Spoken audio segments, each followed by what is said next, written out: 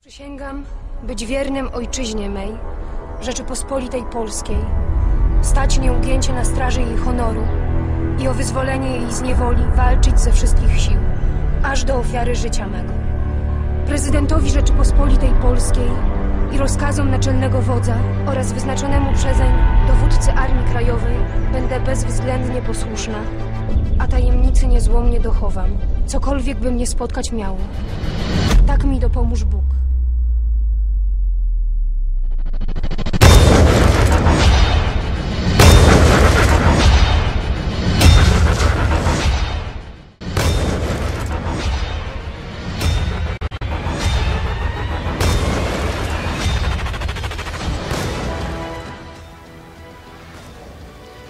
Szczęść Boże!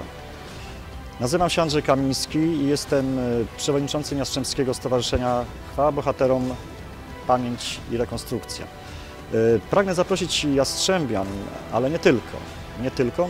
Wiem, że mamy sygnały, że będą z nami ludzie e, z całej Polski. Pragnę zaprosić na obchody Narodowego Dnia Pamięci Żołnierzy Wyklętych. Od y, 2011 roku jest to święto państwowe, w związku z czym zwróciliśmy się do y, Jastrzębskiego Magistratu o y, spowodowanie wywieszenia e, flag państwowych. Y, W Jastrzębiu 1 marca y, obchody będą miały taki przebieg, że o godzinie 10 wyruszy Marsz Pamięci. Y, Spotykamy się przy skwerku Dębu Katyńskiego, y, przy ulicy Mazowieckiej, y, niedaleko restauracji Hawany. O godzinie 11 odbędzie się msza święta w kościele pod wezwaniem świętej Katarzyny na Górnym. Po mszy będzie miał miejsce apel pamięci, złożenie wiązanek, zapalenie zniczy. Na godzinę 14 zapraszamy serdecznie do Kina Centrum na premierowy pokaz filmu Widowiska w reżyserii Łukasza Kobieli Podziemna Armia powraca.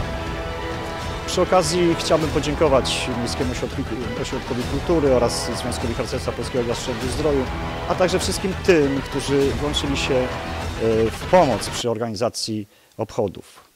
Całości patronuje prezydent miasta, przewodniczący Rady Miasta oraz poseł na Sejm RP.